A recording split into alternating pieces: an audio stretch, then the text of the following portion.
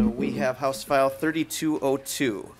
Uh, I will recommend that House File 3202 be moved to the State Government Finance Division.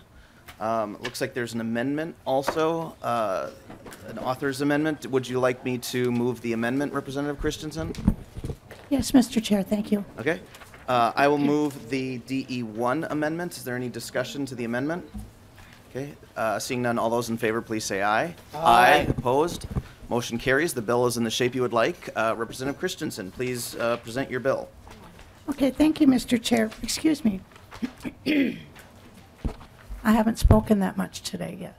Um, And thank you to members for, um, for supporting, hopefully, um, HF 3202.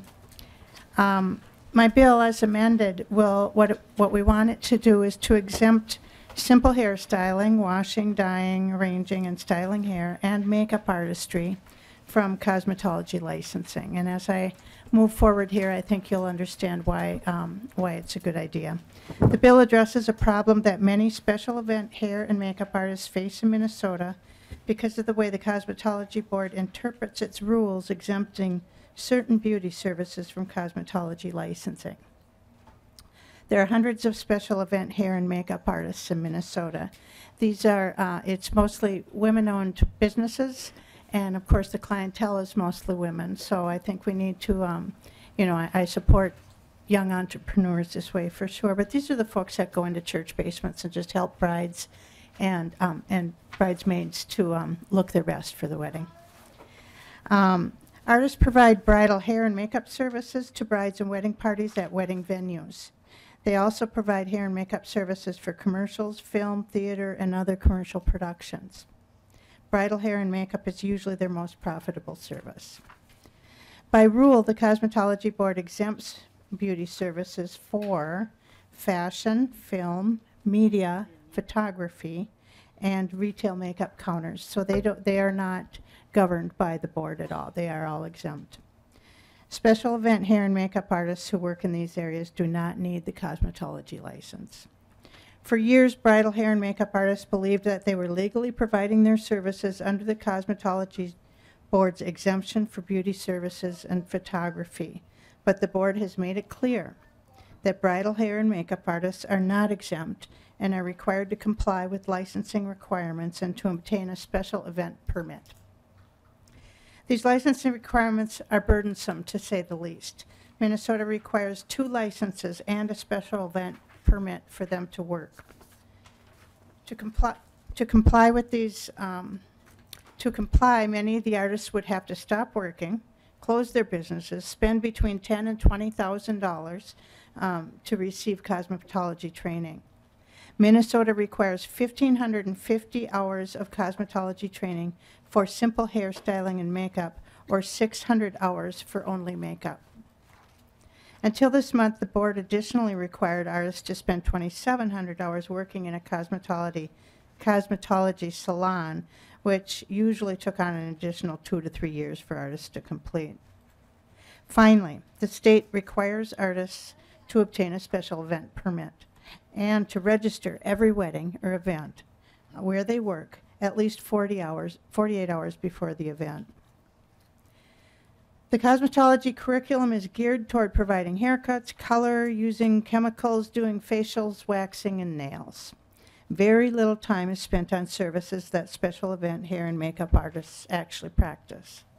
Right now, the constitutionality of the board's different treatment of artists who provide their services for weddings is also being challenged by a group of bridal hair and makeup artists in court. They are additionally challenging the board's application of the cosmetology licensing requirements to bridal hair and makeup artists. This bill will level the playing field for all artists in Minnesota who provide simple hairstyling and makeup. It exempts these services because artists are already safely providing these services in the state without um, the regulation. I ask for your support to help and protect these entrepreneurs and small businesses who make um, such an important contribution to our state.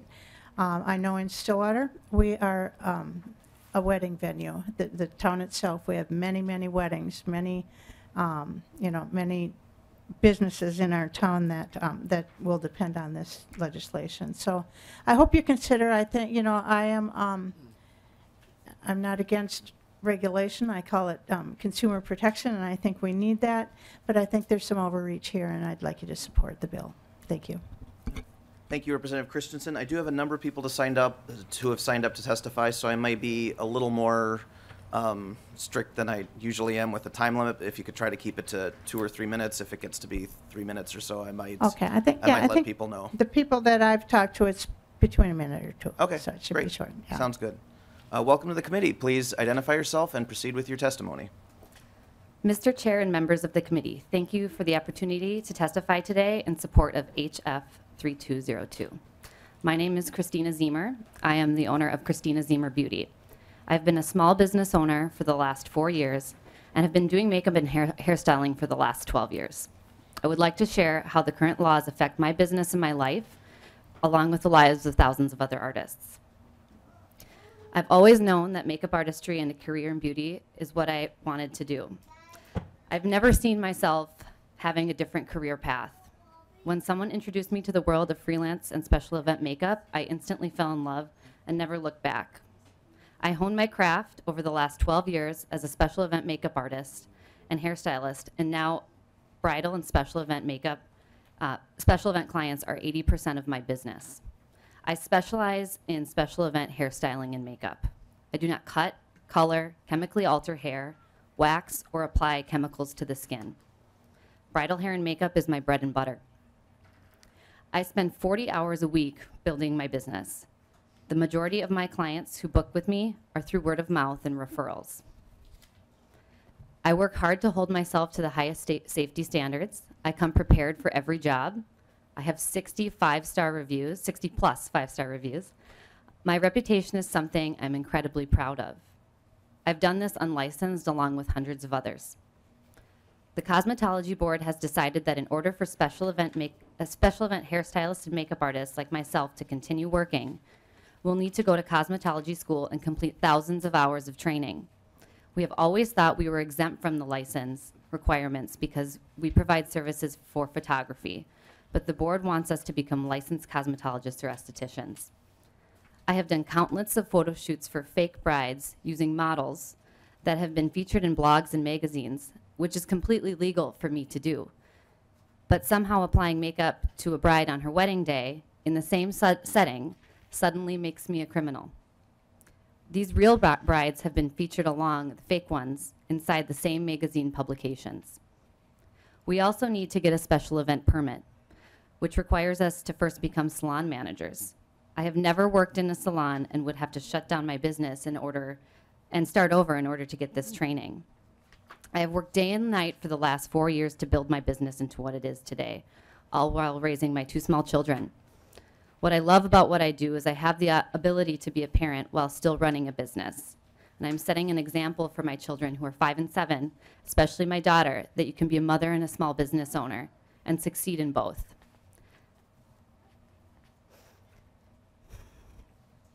Starting over would cause insurmountable, finan- insurmountable financial strain for my family, and it's not something I can afford to do. I'm risking everything to stand before you today and give my testimony. I'm risking my career, my business, and how I prona- pro- financially provide for my family. If the law is not changed, I will have to shut down my business, and so will over a thousand other women across the state. This is urgent and needs to be addressed now for our livelihoods, our families, and the very thing we love to do. My career as a makeup artist and hairstylist is a part of who I am, and I could, I, if I couldn't continue to do my job and provide these services for my clients, I feel as though a piece of me would be missing. I love what I do, and I am so fortunate I get to say that. My hope is my testimony will help save my business and the businesses of countless women. Thank you for giving me the opportunity to share my story, and I ask you to support HF 3202. Thank you for your testimony, Ms. Zemer. Thank you. Uh, Welcome to the committee. Please identify yourself and proceed with your testimony. Good morning. All right. Um, Mr. Chairman, members of the committee, thank you for the opportunity to testify today in support of House File 3202. My name is Amy Reed, and I'm the owner of Amy Marie Artistry. I'm an LLC, a registered business with the state of Minnesota. I hold a federal ID number and I carry the proper business insurance needed to run my business. I'm a freelance makeup artist and I love to work. I love doing this for a living and to, I love to make people feel good. This is what I do. I am blessed that this career supports myself and my three children. As they say, do what you love and you'll never work a day in your life. That's me. Makeup was an unregulated service years ago when I attended Faces Etc of Minnesota, a professional makeup school. I received an entire education dedicated to makeup. I completed my course and hit the ground running. Since, I've gone places and done things I could have never imagined. At the time, I'd spoken with different cosmetology schools inquiring about the makeup training. I received the same response that makeup was only a day or two out of the entire $20,000 program. I knew it didn't make sense for me to learn to cut and color hair, wax, or do nails and pedicures. I never wanted to work in a salon. The consumer demand has kept me and thousands of others busy. While on-site bridal services have boomed, the BCE wants to stake their claim by finding and shutting down businesses like mine. They made an example of other successful artists to scare us into their cosmetology and aesthetics programs. This was done by reinterpreting their own laws to capitalize on our success by cherry-picking the bridal industry as their jurisdiction. Makeup artists have been serving brides in Minnesota for over 40 years. This is greed on their part, as they are not interested in any of the other makeup facets that I work in. I work for many Minnesota companies such as Polaris, Medtronic, Snap Fitness, MyTalk 107, and several production and photography companies. I prepare CEOs for corporate internal videos, take care of talent for product videos, shoot commercials and billboards for advertisement, uh, headshot days at attorney and accounting firms, work on feature films, senior pictures, runway shows, plus many more. Outside of Minnesota, I have worked for Ford, Honda, and the Super Bowl. Most recently, I was contracted by NBC to prep Joe Biden's hair and makeup for a live TV broadcast. The BCE does not require a license for any of these other services. They are all unregulated. I ask, why can I do the hair and makeup of the former Vice President of the United States of America, but I'm not able to put lipstick on the bride in the state of Minnesota? The BCE isn't interested in any of my corporate affairs or other clients outside of bridal. They are not interested in the Clinique counter at Nordstrom's or the Mary Kay lady outselling her product. They want a stake in the $70 billion wedding industry by putting the restrictive laws and regu- regulations on hardworking people like me. I have built an extensive resume, and I did that because of me. I have been the one to keep my ongoing accounts with my outstanding craft. My reputation and business is successful without a piece of paper that costs $20,000, 4,250 hours logged in a salon, or required hours logged in a salon, on top of all of the permit and licensing fees. Thousands of artists are being stripped of our wages, entrepreneurship, and rights. Last year, I worked on 29 weddings. Out of fear, I have removed my bridal work and pricing from my website and social media accounts. Please support House File 3202 to remove the gross overreach by the BCE. Thank you. Thank you, Ms. Reed. Uh, Do we have additional testifiers?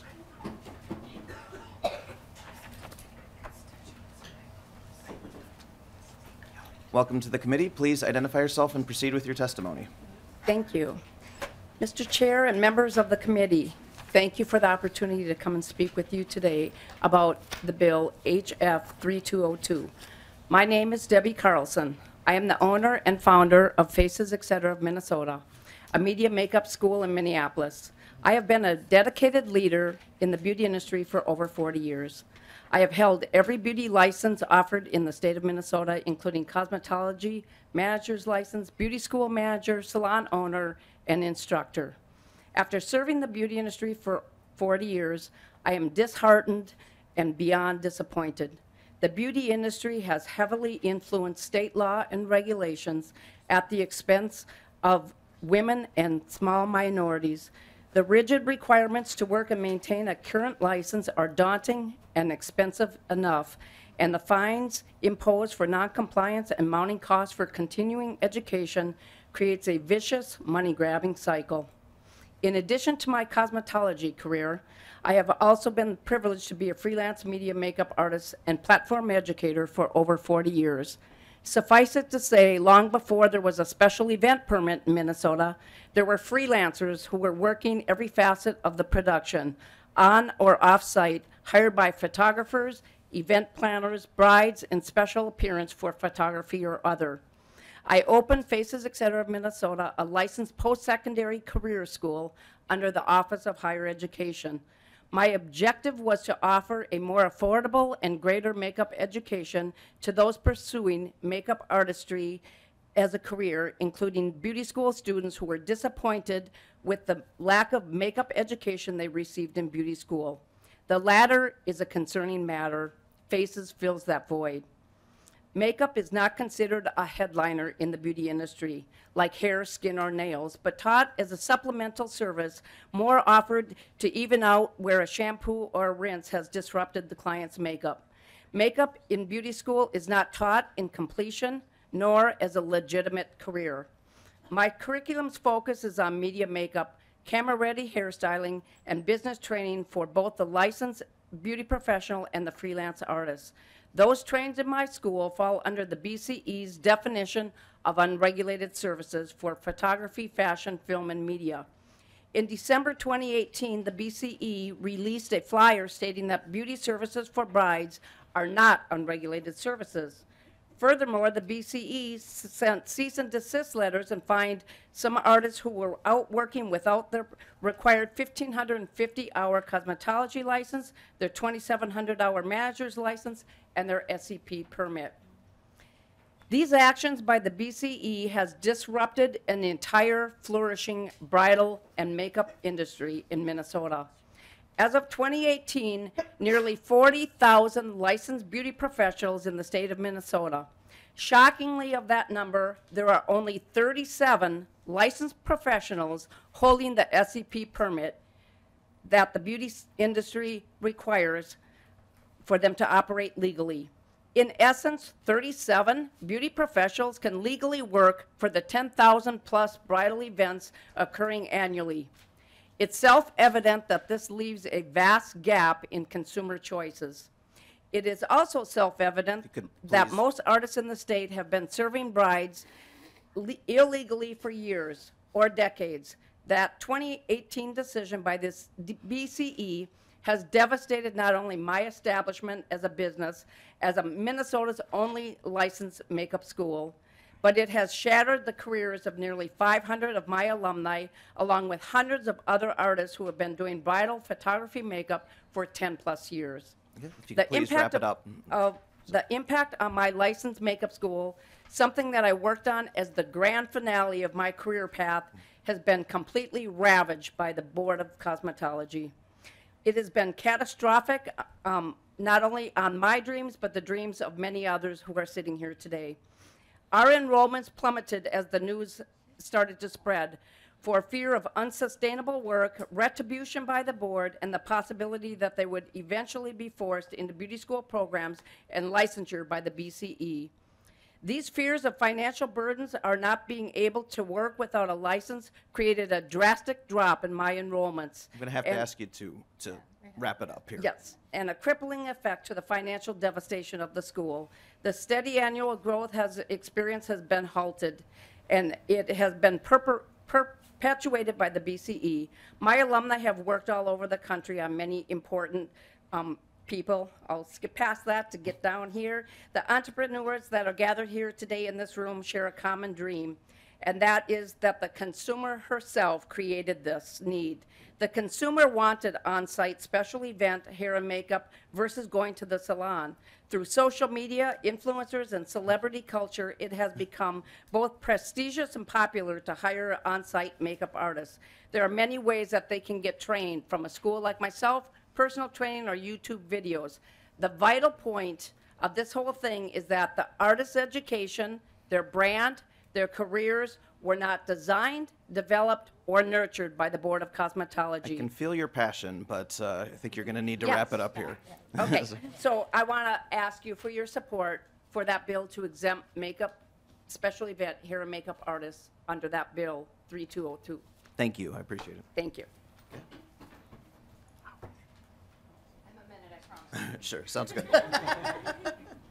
Please identify yourself and proceed with your testimony. Good morning, Mr. Chairman and committee. My name is Jessica Maykoza, and I am here today in support of Bill HF 3202.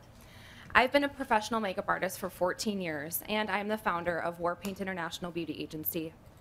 When I started my career, I found that I did not need a license in order to be a makeup artist. Additionally, upon researching both the cosmetology and the esthetician programs, I was disappointed to find the lack of um, education that I would receive in makeup artistry. With this information in mind, I decided not to go to beauty school and rather teach myself and take master classes to advance my craft. The BCE in 2018 changed their interpretation of what photography means when it comes to hair and makeup. They have cherry picked weddings, one of the most photographed days of someone's life, and have said that weddings do not count as photography. Therefore, make it illegal for me to do my job unless I have a series of licenses. Mind you, all of these licenses do not equip you to do hair and makeup artistry for weddings. In 2013, my husband Sam and I founded Warpaint International Beauty Agency with a vision to touch as many lives as possible. The lives of our clients and the lives of the contractors that we would hire. WPI is a beauty agency here in Minneapolis that contracts makeup artists and hairstylists. We've built our company with key core values such as safety, talent, and integrity. From the beginning, we have technically tested our contractors to ensure that the people we're hiring give the utmost care to our clients. We also criminally background check them to ensure the same. Safety is taken very seriously at my company. Since its inception, WPI has paid out almost seven figures in income. This income has helped my contractors save for their dream homes, their children's education, pay off debt, and has even sustained them through hardships. If Bill HF 3202 doesn't pass, I will have to shut the doors of my company. It's going to have a crippling effect on the contractors that I love to pay. I get really excited when I run payroll, even when it's a lot. It would be devastating to lose what I've worked so hard to build. The BCE, we've been running our business successfully for years, and now the BCE is trying to rip away the biggest revenue generator that we have, which is wedding hair and makeup. The fact that I can provide a makeup and hair service to someone who will be in a wedding photo shoot, but not for a bride on her wedding day, is absurd, it's unjust, and clear evidence that the BCE is only after one thing our money. Whether we provide a service for a photo shoot or a wedding day is the exact same service.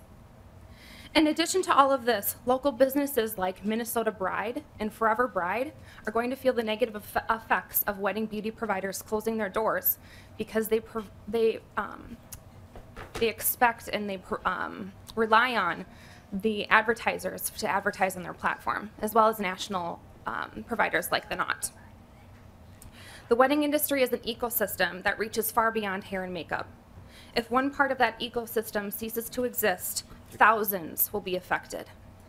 In closing, I would like to ask for your support of Bill HF 3202 to exempt makeup artists and hairstylists from needing to be licensed. Thank you so much for your time. Thank you for your testimony. Is there anyone else who would like to testify?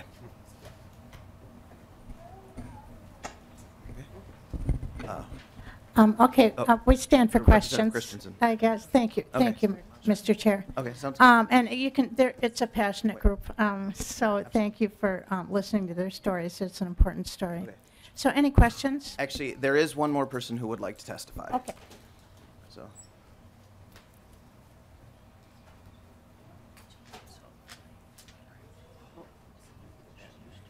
Welcome to the committee. Please identify yourself and proceed with your testimony. Thank you, Mr. Chairman and committee members. For the record, my name is Jim Hurst. I'm here today on behalf of the Minnesota Salon and Spa Professional Association, a trade group in existence since 1927. My remarks will be very brief in consideration of the time uh, restraints that you have for the duration of your hearing today. Uh, Real briefly, uh, Mr. Chairman and committee members, our association has deep concerns and reservations of the uh, legislation before you. I wish to commend the author and the committee for adopting the DE1 amendment because that does uh, preclude this deregulation from also extending into eyelash extension services. The purpose of our uh, concern on this is because the, the state policy is anything pertaining to cosmetology uh, is best served by licensing the practice for the health and safety of the people in the state of Minnesota. And that goes back to 1927. The original statute was, was adopted three years after our existence, um, and it specifically uh, included cosme- cosmetic preparations used in beautifying the face. Over the years, of course, the statute has changed and modified. And when I mentioned the, uh, the issue with uh, uh, uh, eyelash extensions and thanking the author and the committee for removing that from this bill, I think the eyelash extension law serves as a good guide as to how we should approach makeup artistry and simple hairstyling because the same problem occurred four years ago. Eyelash extension individuals came forward and said, it's not fair. We have to do either 1,550 hours or 600 hours of, of, uh, uh, of instruction just to do our, our individual type of service. We agreed with them and we said, let's set up a specialty license. By the same token, this is appropriate to be applied in these cases as well. Uh, Again, the health and safety of the individual, of the consumer, should be concerned. I applaud all of the unlicensed individuals who are here, who have said that they do a very good job, and I don't doubt that one bit. However, uh, if we completely deregulate this, there is going to be an uptick in the potential for, uh, for uh, diseases. And by that, I'm talking about things like pink eye, uh, styes, if you have a dirty mascara stick that you use on, on the individual. If you're applying makeup, make sure that the brushes that you use are disinfected in between uh, customers, unless there's single service usage. You need to have some knowledge of the skin and the composure, the, the complex of the skin pertaining to the type of cosmetics that you apply to these people. And again, instruction is helpful in this matter.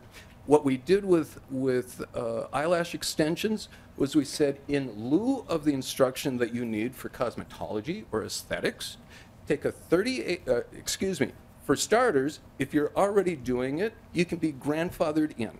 Take eight hours of a refresher course, pass a basic test specific to this, and you're good to go. For new people coming into it, you can take a 38-hour training class, pass a test, and be licensed in that regard. By the same token, that serves as a good model for this going forward. Let me conclude, Mr. Chairman, by saying last spring, about this time, we were approached by a representative of the makeup artist. And when they shared this problem, we agreed with them that it's onerous to have to go through all this education if you just want to do this type of service. We suggested something along the lines of eyelash extension legislation. They agreed. We started working on such legislation over the interim.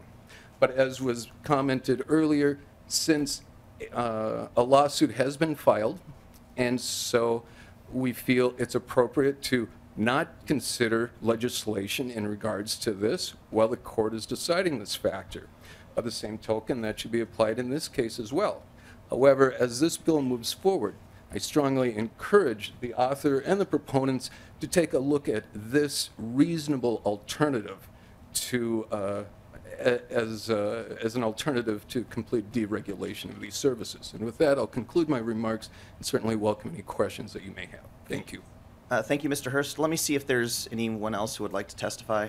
Um, Sure, if you could please come forward.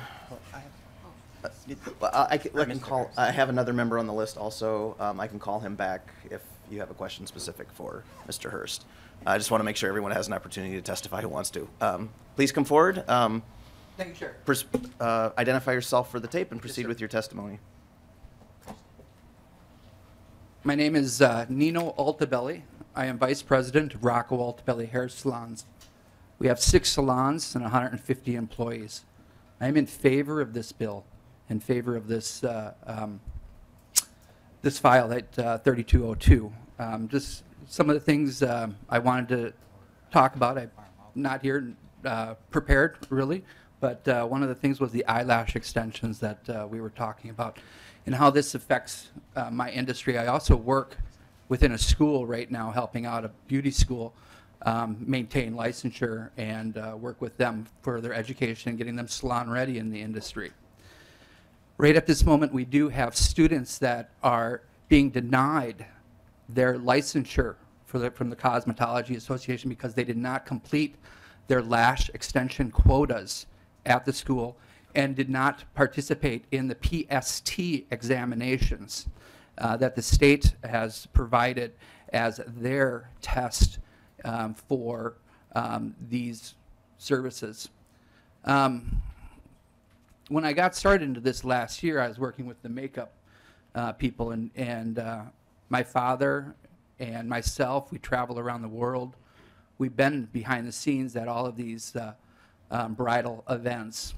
But what's really kind of hurting me right now is two of the students that are currently just graduated, just spent $15,000, just spent 1,550 hours, just spent the $200 for their licensing fees.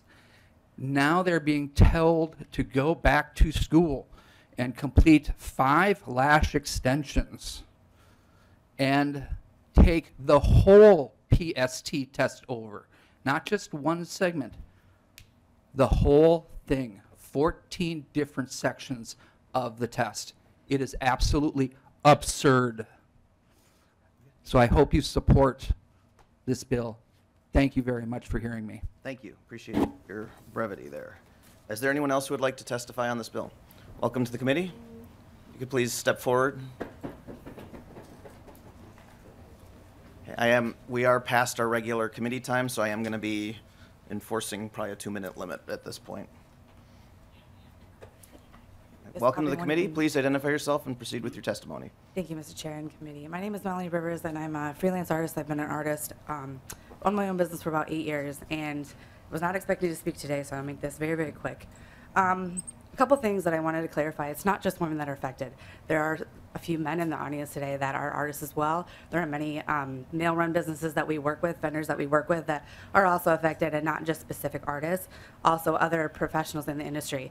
It's not just weddings. That's not just special events. Anything that revol- that involves like a gala, or if your sister hires me to do a makeup lesson for her at my studio, I'm technically working illegally because I love education. That's something that's very important to me, and that's something that um, has recently come to my attention that technically I'm working illegally. If I do a wedding for free, I'm not illegally working. But if I choose to charge for that wedding, I'm now illegally working. So it's not just our ability to do it, it's whether or not we charge for those special events. And that's the thing is if we're if safety is concerned here for our consumers, then it should be concerned whether or not we are working for free or for media, it doesn't matter whether or not because the services that we are providing are for this are the same. So if safety is of a concern, then that's something that should be regulated as well. And so it doesn't make sense to have that inconsistency across the board. Um, also, one more thing too that I wanted to, um, I'm sorry, I'm totally drawing a blank right now. Um, that this is something that doesn't really make sense to us because a licensed professional also can disregard safety and, and um, sanitation concerns. I work with several licensed professionals who are not sanitary by any means and who pose several risks to consumers. And the rest of us have established businesses based on our reputation. So for our reputations, we do maintain safety concerns. So I think sometimes licensing can actually take away some of that responsibility that the artist feels that they have towards the consumer because they think, oh, it's not a big deal. I work for salon. They carry all the insurance. We carry our own insurance. And we do take responsibility for that. And again, having a license doesn't guarantee safety for consumers. So I just wanted to kind of add a few of those details. So thank you. I appreciate um, your time today. Thank you, Ms. Rivers. Is there anyone else who would like to testify on this bill? Okay, seeing none, we'll go to member discussion. Representative Mason, you were first. Thank you, uh, Mr. Chair. A couple of questions. One is on the uh, amendment, that section five. Now, it says that that person performs personal services for the cosmetic care of the skin, but it doesn't include makeup services. So can you tell me the difference between cosmetic care and not using makeup? I'd like to Representative introduce, Christensen? uh, Mr. Chair, I'm sorry. I'd like to introduce um, Megan, who is here, and she can help answer the Sure. questions. Thanks Please much. identify yourself and proceed with your response. Thank you, Mr. Chair. My name is Megan Forbes. I'm from the Institute for Justice. Um, the cosmetic care of skin is a very broad definition. Um, the definition of cosmetology and aesthetics in Minnesota is incredibly broad. It can capture a lot of things, but Minnesota has carved out certain things that are safe that don't quite fall within this broad definition. An example would be hair braiding has been carved out from hairstyling. Um, same thing here with makeup. Um, makeup would be carved out from the cosmetic care of the skin. Representative Mason? That didn't exactly answer my question. What is the difference? What do you use for cosmetic care if it's not makeup?